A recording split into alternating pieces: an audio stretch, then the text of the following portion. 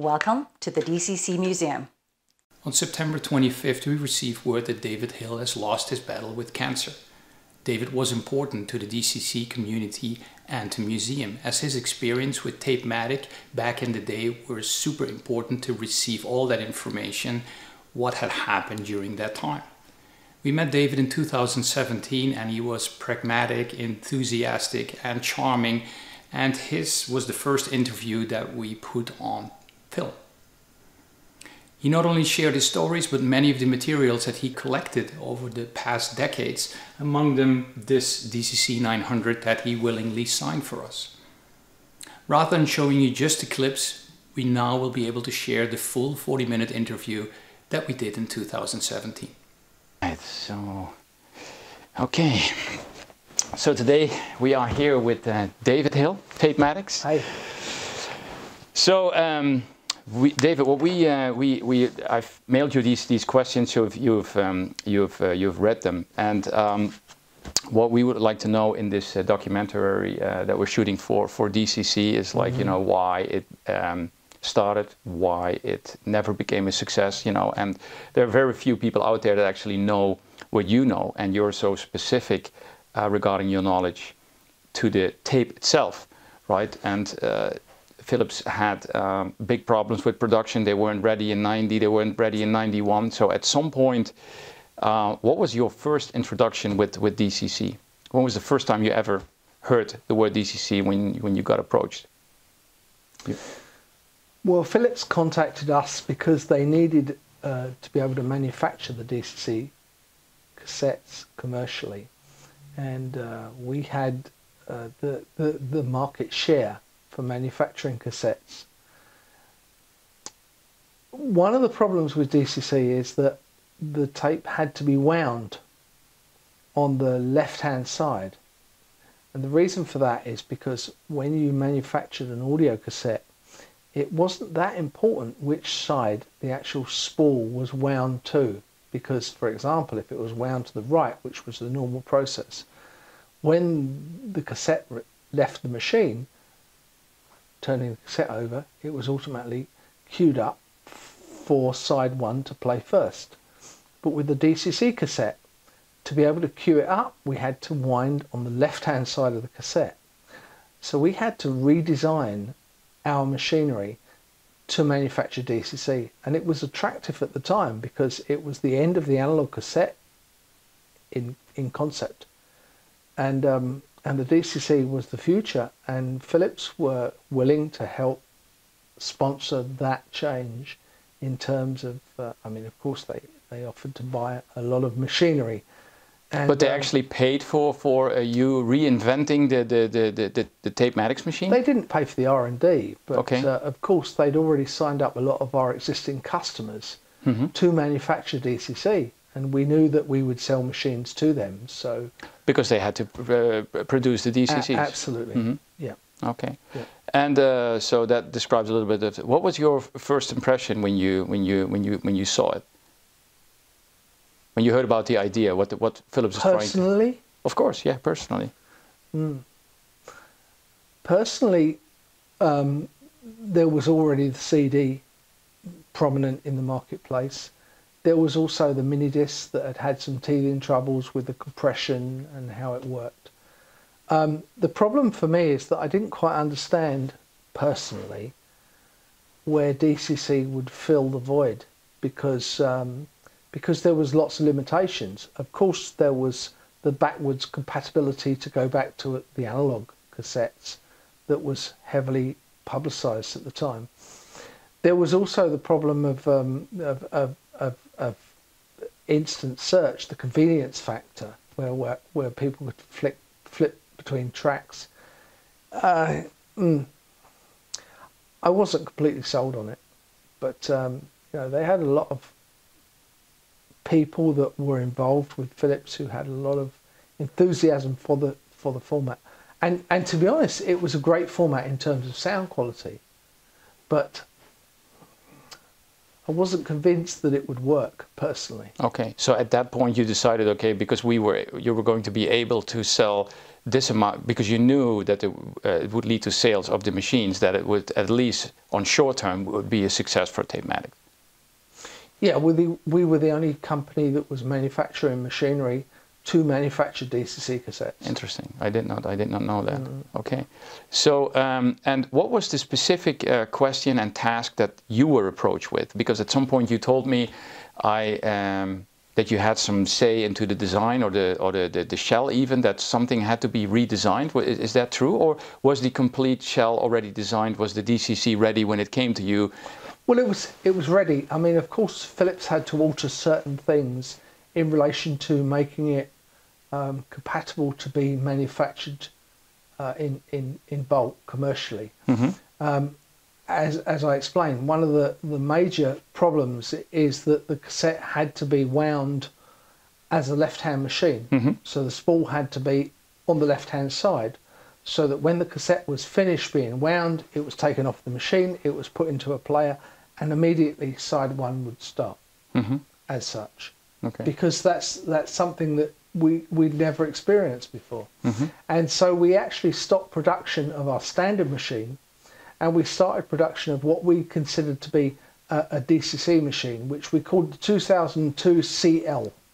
CL meaning left hand, mm-hmm. you know, cassette left hand winder. Um, the strangest thing was is that people who um, who then were who were manufacturing still analog cassette, who were being forced to buy the CL machine, were not happy about it because it, it, it really didn't feel right to them. Okay. And so, so they were they were quite reluctant to buy that machine because it because they were used to the right hand loader. Yeah, yeah, okay, yeah. Okay. And, and not only that, but there was other things like, for example, because of the tape that was being used and had to be used to manufacture the DCC cassette, it was very delicate. So there was certain handling characteristics, such as bearings and air guides and things like that, that were specific to handling that type of tape, that made the machine a lot more complex. Okay, so uh, different maintenance, more maintenance, maybe. Uh, certainly more maintenance, but just just the general working with the machine. Mm-hmm. In fact, the interesting part about it is is that when we as a company established that DCC was not going to work because we worked out that that Philips were really going to pull the plug on it, we actually went back to manufacturing the CR machine and continued to manufacture the CR machine and sold them as new machines till the end of our, our involvement in, in audio cassette. What um, this is uh, uh, an inter interesting topic. Uh, what year was that uh, that you that Tapematic uh, realized? Okay, Philips at some point is going to pull the plug. I th I think we're looking at 95, 96. Okay, because 96 they, they did uh, pull the plug, yeah, but but 95, okay, 96. Okay. But okay. they sold a lot of machinery to. Mm -hmm customers of ours, existing customers, mm-hmm. and and the proviso for those customers were, was that they could continue to use the same machine to manufacture normal analog compact cassette if they needed to. So it wasn't a, it wasn't a, a, a waste of an investment because they could manufacture DCC or analog cassettes on yeah, the same machines. Okay, okay. I actually ended up working at a company in London, a little independent company, that was manufacturing uh, vinyl predominantly. And uh, upstairs they had a facility to manufacture eight track cartridges and cassette, which was the new music of the 80s, you know, that was 1979. And, um, and I got involved in the cassette side of things.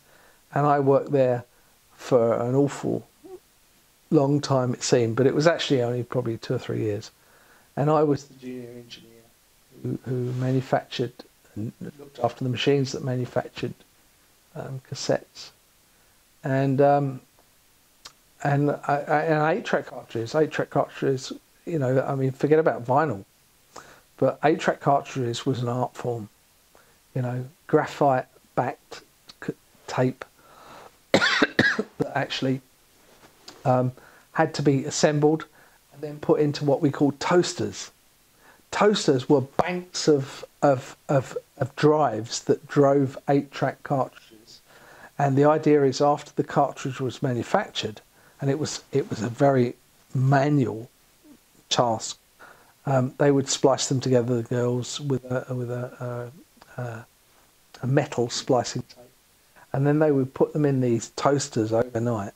And the toasters would just run the tapes continually to spread the graphite lubricant within the tape so that then they'd take them out in the morning and then they'd be able to pack them and label them and Oh send them out. That's a very time-consuming process then. Yeah, eight track cartridges were crazy, crazy. But then, then there was the cassette that followed on, and cassette was a, a, a great business for everybody, you know, because it was the growing business, and and this being at this conference today is is you know it, it kind of rekindles those memories because it was a very bittersweet experience, perhaps looking at it now, because the very fact of the the success of cassette um, was was um, uh, responsible for the demise of vinyl because cassette was the convenient medium It was small. You could record on it. Yeah. yeah. and you could carry it around Yeah. and, and so on and so forth. So, so you know, um, Philips at the time, you know, I remember at the time, you know, at the start of CD, they considered um, CD as we know it to be a completely trivial pursuit. They were not interested in, in getting involved in um, a medium for audio, a digital medium for audio. They had uh, the, the, the video disc, and uh, that was deliberately copied over from the, the, the LP. So it was 12 inch, it was a big disc, and da da da. And so the original idea of them to um, to go into the CD, if we can call it that, was a seven inch disc, and that was crazy, you know, because you know I remember the conversations at the time. It's like, who wants to carry around a seven inch single? It's stupid. It doesn't make any sense. Um, and then they they they reinvented the idea, um, and they originally used the uh, the the the size of the compact cassette as being their um, as being their model. So they used the diagonal size of the cassette, which is 115 millimeters, to then produce a disc which was 115 millimeters in diameter. But unfortunately, they couldn't get the equivalent of a full album onto 115 millimeters because 115 millimeters would only hold 600 megabytes of information. And they didn't have those compression technologies at that time. And they realized that to, to be able to get the equivalent of a full album onto a CD, it would have to be 120 millimeters. So they increased the size from the diagonal size of a cassette. And you can check it, it's probably the same for DCC 115 millimeters to 120 millimeters. And they could get 650 megabytes on that. And that was enough for them to get a full album, album with the quality onto that. Yeah. onto onto a CD, and that's why the CD is 120 millimeters Wow. Hey, when, and when, 1.2 millimeters thick. Just so. when when Philips approached um, um, uh, what was your um, specific role? What was your function at that very moment? Um, well, I was involved in the R and D team um, in in many areas. You know, listening, commenting. At the end of the day, though, I suppose it was like, here's Philips as a customer. They want us to produce a winder to to wind these strange tapes on the left hand side, and da, da. you know, it was a commercial. Like, okay, fine, Yeah. if you want to do that, because you, you've got to remember at that stage we didn't know whether DCC would be successful or not successful, or how the market would accept it because it was a totally new project. You've mm-hmm. got to remember there was lots, there was so many things going on at the time. There was there was Minidisc, and there was also another company called DataPlay, which was a company that was manufacturing this tiny little CD drive, if you want to call it that, almost like a floppy disk that was designed for music. I don't know, I, I'm not even convinced they actually had something that worked, but Mhm. there was lots of people trying to miniaturize the format of, of audio music as such. What was the um, the time frame between the, the approach and that you were ready to fulfill uh, what Philips did? Fast, fast, really fast. You know, even like six months. From being approached to actually Yeah. having the Tapematics uh, left Yeah. load already. Yeah, and the the, Wow. the the reason for that is because we, uh, I mean, we had the market share of, Mhm. of audio cassette tape tailoring. And tape was tailoring is an interesting term. Tape tailoring, um, but also we manufacture everything in house, so we didn't have to rely on third-party contract contractors to be able to supply us what we needed. We could practically design a mirror machine overnight. And So was that was that contact strictly between UK and Eindhoven, the Netherlands, or No, it's, it was directly between Milan, the head office, and Eindhoven. but you were based in the UK at that uh, at that at that point? Yeah, but my involvement was um, was was global. You know, I, I covered the UK, but I was working uh, directly with Milan on an everyday basis. You know, what do you think of this? What do you think of that? Do you remember of any uh, problems that you were or were not able to solve in, the, in this six months uh, process, or was it uh, uh, because that's reasonably fast, six months to go from from uh, to because it was different tape. No, no, no problems. Uh, uh, I mean, that, you've got to remember that it, it wasn't so much a big problem because uh, at that time we were already manufacturing the the the machinery for um, manufacturing video cassettes, VHS video cassettes, um, and and U-matic video cassettes. So the handling of the type of tape that was being required to manufacture DCC was something we were already used to doing. So we knew what we had to do in relation to special guides to hold the tape. Um, it, it wasn't hard at all. It was literally a, a, an exercise in reversing and making a mirror image of the machine we already had, um, as well as um, certain little, little parts of the machine, like the, the control chamber and stuff like that, so that we could handle it in a slightly different way. But in fact, that those modifications then, I, I said earlier, when we understood that DCC wasn't a, a, a format that was going to be accepted well, um, but analog cassette was still continuing, and people were asking for the old format of a right hand loader. Um, we actually used some of those um, innovations in the, the the new CR machine, you know, for tape handling because it. I mean, it was a. it So was it, it gave you a version two, basically, of the of the kind CR of, machine. yeah, yeah, yeah, Certain certain little things. Yeah. yeah. Was the um, uh, you have been quoted um, quite a few times? We have a, a, researcher that that did a lot of uh, investigative work for us, and God you've been. us. Well, it, interesting was that you had um, seemingly in, an sort of an infatuation with with analog uh, tapes, um, apparently quoted.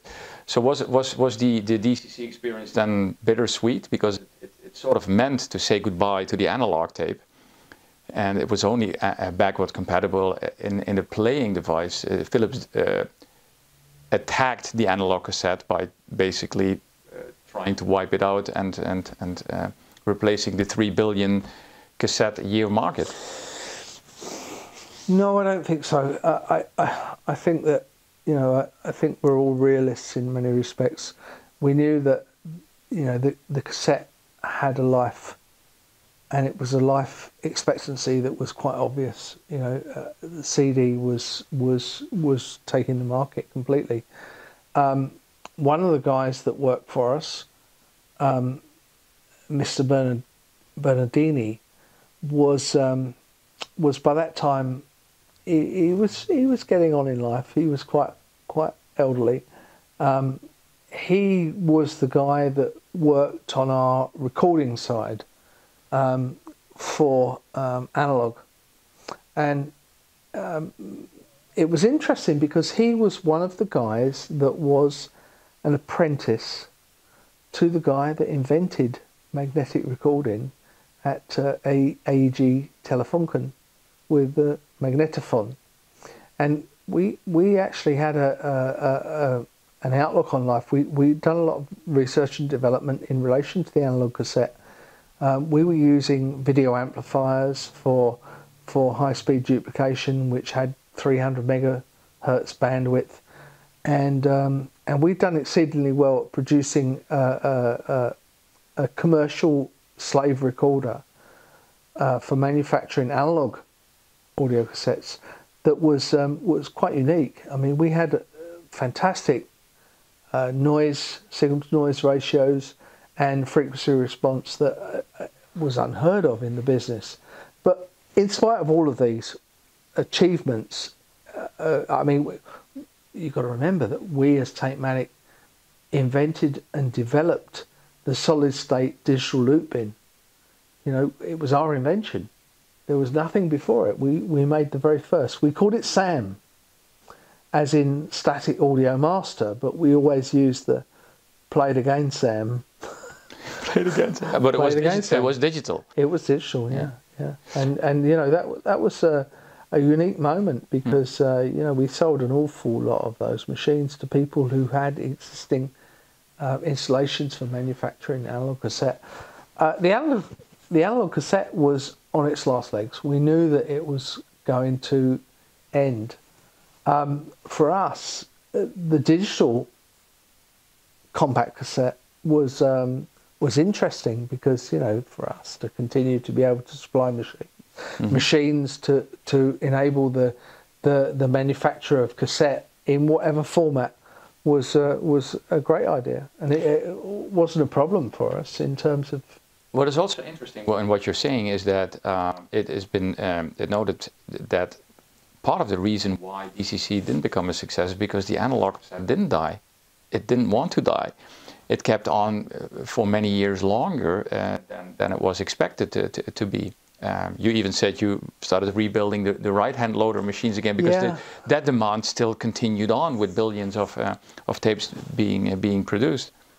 Yes, it did, and I, and I think you know, you, you have to look, you know, I've, I've lived through so many different formats and seeing the rise and fall of formats, you know, and, and the cassette was a fantastic format because it, it had great longevity in terms of, um, you know, if you compare that to something like the, the DVD or the Blu-ray, you know, those formats peaked in five years or less. You know, I mean, once the studios released all their back catalogue as, uh, as they could, and then it's gone. The cassette went forever. You know, it was like it was in in the process for like 30 years, I think. You know, from the original design stage. Um, it was a great format because, you know, my mum had a cassette player, and she could buy a cassette and she could put it in her cassette player, and she'd press one button and it would play music. I think the problem is is that with DCC that wasn't possible anymore. You know, she could she wouldn't even know what a DCC was. You know, it was it was this new technology, and I personally never quite understood because there was already the Philips compact disc. Why would anybody want to go out and buy a cassette that would require them to go out and buy a new player to be able to play something that was inferior in many respects, and I'm talking about many ergonomic respects, to the CD. Mm-hmm. What was the point?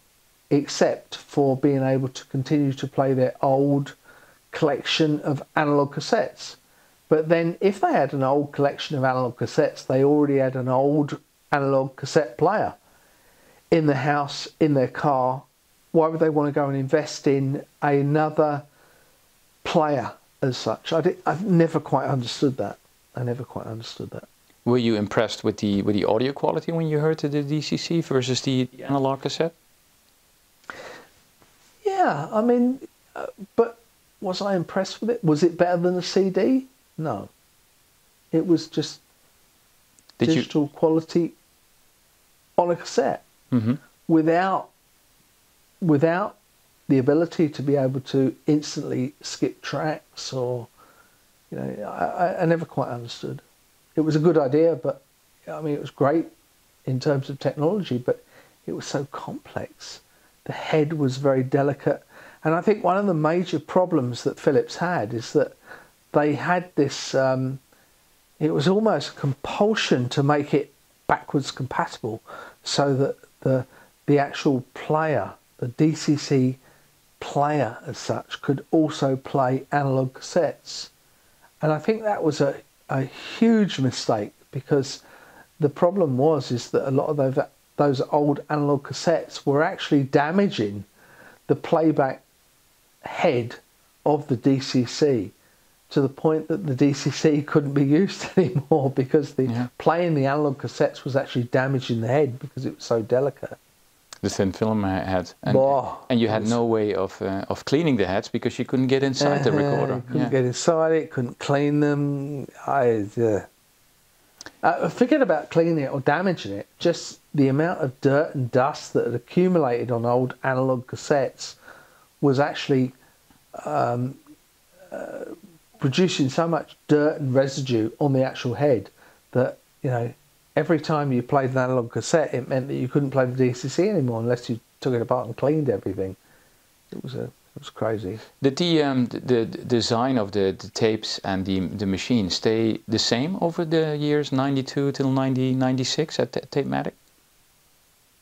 For us, Yeah, was there improvement, technical improvements, or was it uh, after six months? Did it stay? Did it stay the same for all those no, years? wa- there was no need for us to improve anything. You know, Okay. we, we, we produced we produced the machines that would make DCC cassettes. A lot of our customers would buy those machines. Um, they didn't buy many. They bought perhaps two or three machines. You know, because a lot of them invested in the DCC Idea. future hmm and the and and and you know with the basis that they could if everything went wrong they could still use the same machine to manufacture standard analog cassettes so you know they didn't mind very much you Okay. know. Do you know how many uh, machines Tapematic uh, produced for DCC reproduction? do you know what I, I don't but i'm guessing probably no more than 200 100 maybe i don't know Worldwide. yeah hmm You've got to remember that we were producing thousands of winders a year. So, for the period that DCC existed, it was almost like at the end of this huge demand for analog loaders, and then suddenly there was a resurgence of demand because people were buying loaders to be able to manufacture DCC, and so it sort of peaked for a little while and then went down again. Mhm. You know, Um, the production of DCC at Tapematic was, was different because it had to be done in, the, in, in a new clean environment. Um, no. it did, did not? You've got to remember, we produced the machines. hmm We then sold them to people who would then use them to produce the DCCs. hmm We had no control over how, How they- they, how used they them were going or to be used. where they used them. Mhm. But as far as I'm concerned, the DCC machines were designed to be worked in a, a, a room that was clean rather than a clean room. hmm Um, how how that was stipulated by Philips, I can't comment on, but I can tell you absolutely 100% that the people that bought the DCC machines and the people that actually manufactured the DCC cassettes, as far as I'm concerned, were not using them in a clean room environment. They might have been using them in a room that was clean, hmm but not specific class 1000 clean room. No. Okay. Which is something we knew a lot about because uh, at that particular time you've got to remember that that the manufacture of uh, video cassettes had to be done in a clean room environment. Absolutely 100%. Did you, at the at the end of the period, consider it uh, that it was a success for Tapematic financially, or was it uh, considered a break-even disaster? How how would you see that? It's a strange question in many respects, um, and and the answer is a difficult answer. Um, it was a success in as much as suddenly we had this demand to supply an extra few hundred machines, let's say at a period in our manufacturing history that we considered the cassette, the analog cassette, to be a dying format. You know, so the actual production levels levels had reduced. So suddenly to have an order for another 300 machines from all different companies around the world was great. Yeah, I suppose. But we continued afterwards to manufacture machines for analog cassettes anyway. So I, I, I don't know. I, I, I think it was. I think in, in actual fact it was such small numbers in the whole picture of things that it was probably not that significant as a, a, an investment. I, we certainly didn't lose money on it in terms of it wasn't that difficult for us to produce the machine. Mm-hmm, because you you were able to, to build it within six months. It didn't take that much of yeah. your R and D development. I think I think one of the major problems also for for DCC was that originally the compact cassette, the success attached to the compact cassette was because Sony, ironically, petitioned Philips to make the the compact cassette royalty free.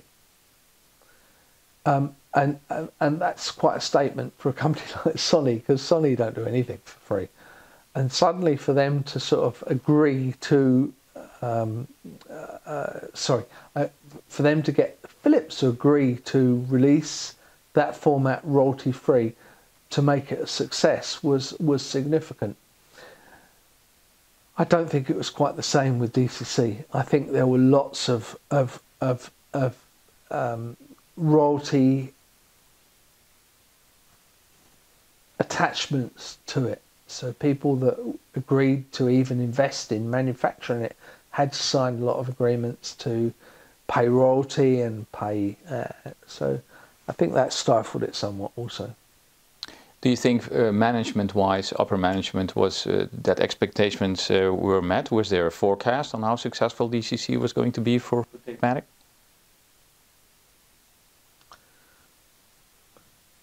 don't think it was discussed at that level. I think okay. it was a, well, here's a new format.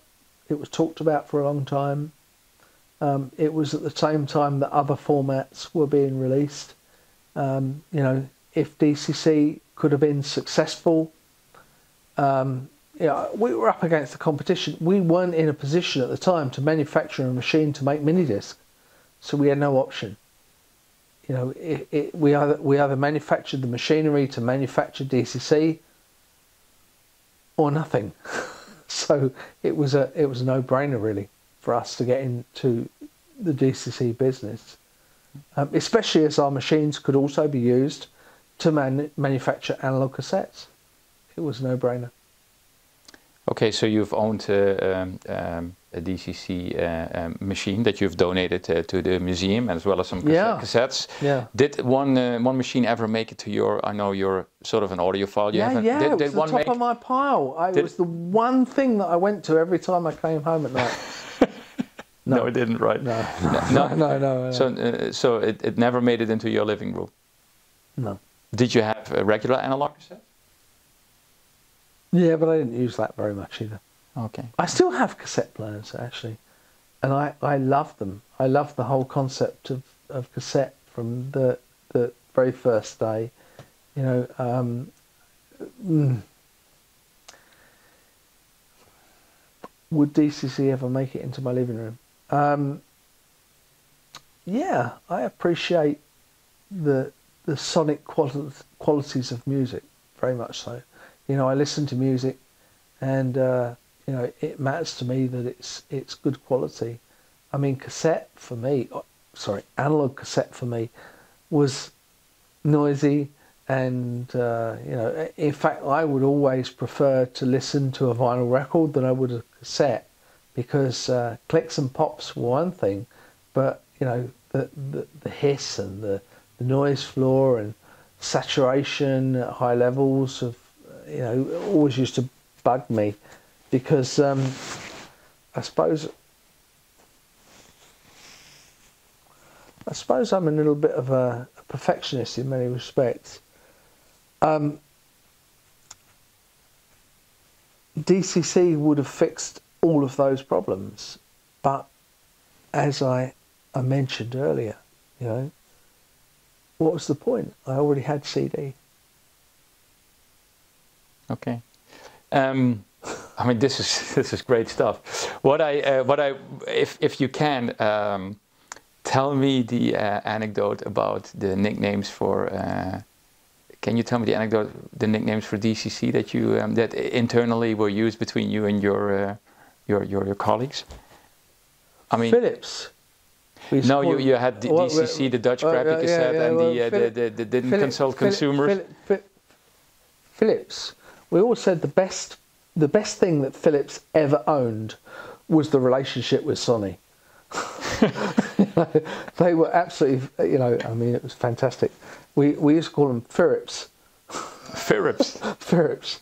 Um, you know, and but Philip Philips is a very big company, and I, I really don't want them to send a hitman out to kill me at this stage in the game. Um, You're too accomplished right now. blah. Um, yeah, I mean, uh, Philips was. Uh, sorry, Philips is a great company. They have the most fantastic ideas, and they have a team of people there that invent some fantastic things, and uh, and I admire them for that immensely in every way, shape, and form. You know, they have a, a, a great team of people. I think the problem is is that they at that particular time had a format that they knew was dying. You know, um, not that it would have bothered them because they weren't making any money out of it anyway because they'd already handed over the the, the royalty right um, for free. Um, and they saw it suddenly as an opportunity to be able to suddenly make some money out of the cassette um, by by by calling it a DCC. Um, we we always used to say, you know, that that DCC stood for. Originally, it was uh, didn't consult the consumer, because um, you know because they should have asked the consumers what they wanted, you know, how much convenience. Because it wasn't like the consumer could go out and buy a DCC cassette and play it in their car for example, they wouldn't be able to do that. They would have had to have a player in their car to play DCC and analog cassettes, which we've proven now would never have worked. Um, so they didn't consult the consumer, um, and and a lot of people became very frustrated with it. So we, yeah, uh, unfortunately, we we did used to call it the Dutch crappy cassette. Um, uh, Philips they done their very best at marketing it, but marketing for Philips was never their strongest point. you know, they, they, you know, I think if uh, if other people had taken it on board, I mean, you know, the thing that that didn't exist at the time is that rather than Philips produce a, a Walkman, they should have got Sony to produce a Walkman, like what they did in the beginning with the analog cassette. Unfortunately, this time round they had a huge problem, and that is that Sony wouldn't produce a Walkman because they had this little thing called a mini disc player, which was fast, it was slick, it had instant track selection, and that's what people wanted. Well, uh, thank you very much. This was uh, this was excellent. It was this was awesome. These were the answers we were we were hoping for. Thank you. You got enough? I got I got Right. I got plenty. Okay. I got plenty. Yeah.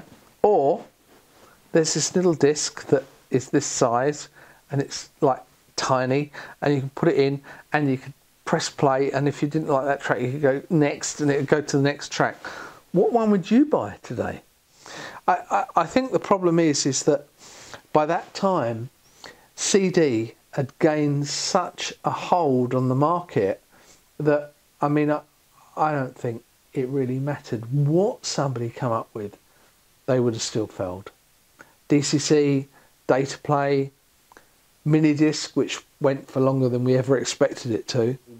If they'd have released that five years earlier, it probably would have established a great foothold in the market. You know, a digital cassette format. But it was five years too late. Simple as that.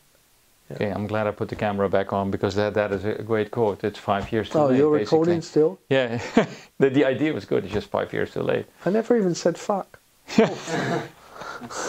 John Cleese did, and in, a in a funeral, right? The first time Every, anybody ever said "fuck" at a funeral. Yeah, yeah, yeah. Fuck at a funeral. Awesome, awesome. We'll, I we'll actually, back I up. actually, I actually, I'm at the age now, you know, where I used to, I used to, you know, when I was younger, I would always go to weddings, you know, and you know, and I, I'd go to weddings and and you know, there'd be the grandmothers and the aunties and all that, and they'd come up to me, you know, and they'd go, "You're next, you're next, you're next."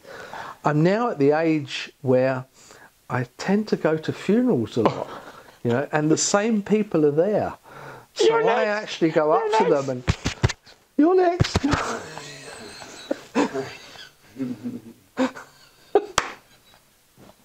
Payback. yeah, it's payback. Yeah. okay, stop the fucking recording. Yeah.